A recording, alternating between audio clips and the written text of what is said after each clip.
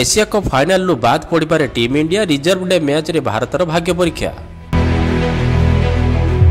Super ଚାରି ଷ୍ଟେଜ୍ରେ ଭାରତ ପାକିସ୍ତାନ ମ୍ୟାଚ୍ରେ ବର୍ଷା ବାଧକ ସାଜିଛି। ଲଗାତାର ବର୍ଷା ଯୋଗୁଁ ଗତକାଲିର ମ୍ୟାଚ୍ ଅଧା ହିଁ ରୋକିବାକୁ ବାଧ୍ୟ ହୋଇଛନ୍ତି ରେଫେରୀ।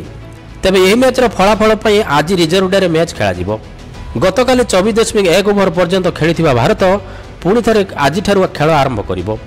ପୂର୍ବତନ ଅଧିନାୟକ ବିରାଟ କୋହଲି ଏବଂ କେଏଲ୍ ରାହୁଲ ଭାରତରେ ବାକି ଓଭର ପାଇଁ ଖେଳ ଆରମ୍ଭ କରିବେ।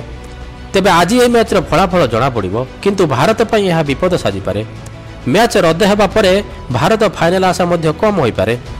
ଲିଗ୍ ଷ୍ଟେଜ୍ରେ ଭାରତ ପାକିସ୍ତାନ ମ୍ୟାଚ୍ ରଦ୍ଦ ହେବା ପରେ ଗତକାଲିର ସୁପର ଚାରି ଷ୍ଟେଜ୍ରେ ମଧ୍ୟ ବର୍ଷା ଯୋଗୁଁ ମ୍ୟାଚ୍ ବାତିଲ ହୋଇଛି। ତେବେ ଆଜି ରିଜର୍ଭ ଡେରେ ଏହି ମ୍ୟାଚ୍ ଖେଳାଯିବ। କିନ୍ତୁ ରିଜର୍ଭ ଡେରେ ମଧ୍ୟ ଯଦି ବର୍ଷା ହୁଏ ଏବଂ ମ୍ୟାଚ୍ ଖେଳାଯାଇ ନପାରେ ତେବେ ଏହା ଟିମ୍ ଇଣ୍ଡିଆ ପାଇଁ ବଡ଼ ସମସ୍ୟା ସୃଷ୍ଟି କରିପାରେ। ଆଜି ଭାରତ ପାକିସ୍ତାନ ମ୍ୟାଚ୍ ରିଜର୍ଭ ଡେରେ ଖେଳାଯିବ। ଆଜି ମଧ୍ୟ ଏଠାରେ ବର୍ଷା ହେବାର ଯଥେଷ୍ଟ ସମ୍ଭାବନା ରହିଛି।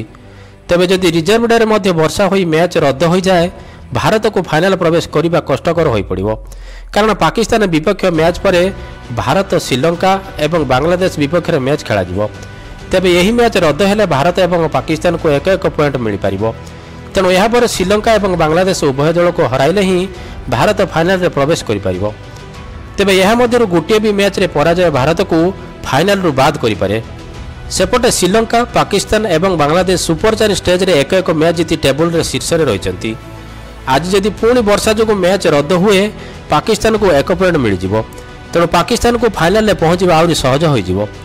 ସେଥିପାଇଁ ଆଜିର ମ୍ୟାଚ୍ରେ ଭାରତ ପାକିସ୍ତାନ ଉପରେ କୌଣସି ବି ପ୍ରକାର ବିଜୟ ହାସଲ କଲେ ଫାଇନାଲ ବାଟ ସହଜ ହୋଇପାରିବ।